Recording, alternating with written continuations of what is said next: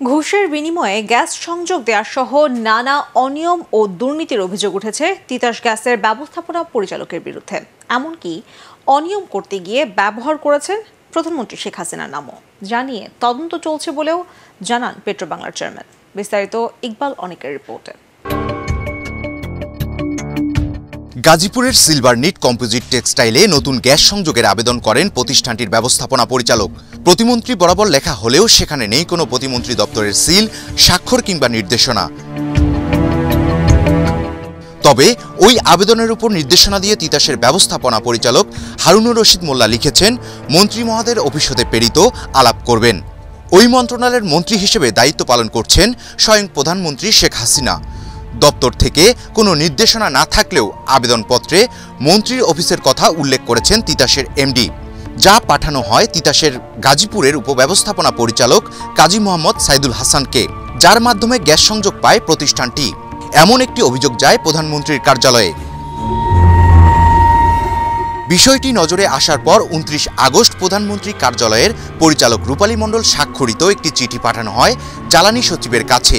চিঠিতে বিদ্যুৎ চালানি ও খনিজ সম্পদ মন্ত্রণালয়ের মন্ত্রীর নাম ব্যবহার করে উচকোচ গ্রহণ করে শিল্প প্রতিষ্ঠানে তিতাসের গ্যাস সংযোগ প্রদান সহ নানা অনিয়মের বিষয়ে তদন্ত করে বিধি মোতাবেক যথাযথ ব্যবস্থা নিয়ে প্রধানমন্ত্রী কার্যালয়কে জানানোর জন্য নির্দেশনা দেয়া হয়।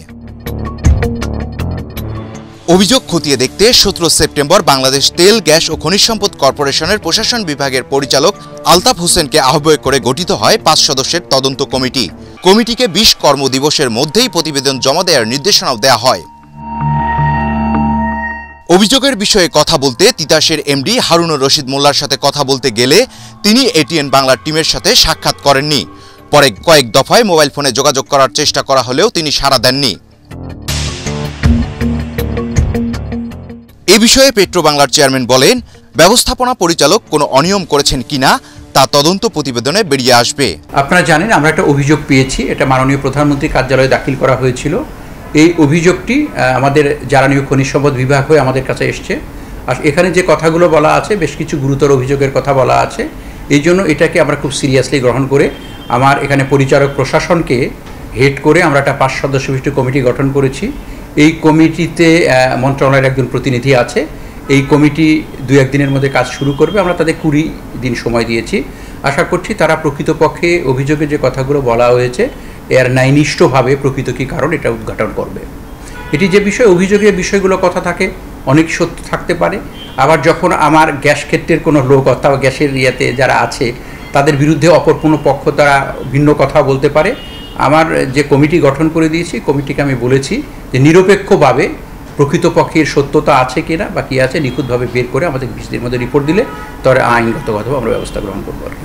তিতাস গ্যাস বা পেট্রোবাংলার সাথে জড়িত সংশ্লিষ্ট ব্যক্তিরা মনে করেন এই ঘটনার সুষ্ঠু তদন্ত প্রয়োজন। তবে যার বিরুদ্ধে অভিযোগ তাকে শপথে রেখে তদন্ত করা নিয়েও প্রশ্ন তোলেন তারা। দেখুন আমরা আগে জানতাম যে সাধারণত কিছু দুর্নীতিবাস এবং অসৎ ব্যক্তিরা প্রধানমন্ত্রীর সিল এবং স্বাক্ষর জালিয়াতি করে। কিন্তু এবার দেখলাম যে রাষ্ট্রে অতি গুরুত্বপূর্ণ একটি প্রতিষ্ঠানের একজন ব্যবস্থাপনা পরিচালক, তিনি স্বাক্ষর বা তার অনুমতির প্রার্থনা করেছেন বা তার দৃষ্টি আকর্ষণ করেছেন, এই ধরনের একটি নোট দিয়েছেন। এটি যেটি আমরা গণমাধ্যমে দেখেছি, এটি অত্যন্ত একটি গুরুতর অপরাধ বলে আমরা মনে করি এবং এটি শাস্তিযোগ্য অপরাধ। তো সেই জায়গায় ইতিমধ্যে আপনাদের মাধ্যমে আমরা জেনেছি যে একটি তদন্ত কমিটি গঠন করেছে পেট্রো বাংলা কিন্তু যার বিরুদ্ধে অভিযোগ, তিনি শপথে যদি এখনও বহাল আছেন এবং সেই পদে যদি বহাল থাকেন, তার বিরুদ্ধে আপনি তদন্ত করেন, তাহলে তদন্ত প্রভাবিত হয়। এটা আমাদের বিগত দিনে সব সেক্টরে আমরা এটা লক্ষ্য করেছি। এক্ষেত্রেও যে হবে না, এর কোনো আমরা মনে করি না, আর ব্যত্যয় ঘটবে। তার মানে এখানেও প্রভাবিত হতে পারে।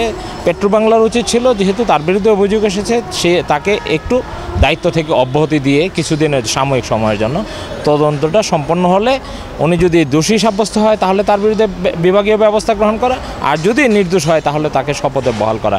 এটি করা আমার মনে হয় উচিত ছিল। দুই হাজার একুশ সালে তিতাসের ব্যবস্থাপনা পরিচালক পদে এক বছরের জন্য চুক্তিভিত্তিক নিয়োগ পান হারুনুর রশিদ মোল্লা। পরে দ্বিতীয় দফায় আরও এক বছরের জন্য নিয়োগ দেওয়া হয় তাকে। সম্প্রতি আবারও বাড়ানো হয়েছে তার নিয়োগের মেয়াদ। ইকবাল অনিক এটিএন বাংলা ঢাকা।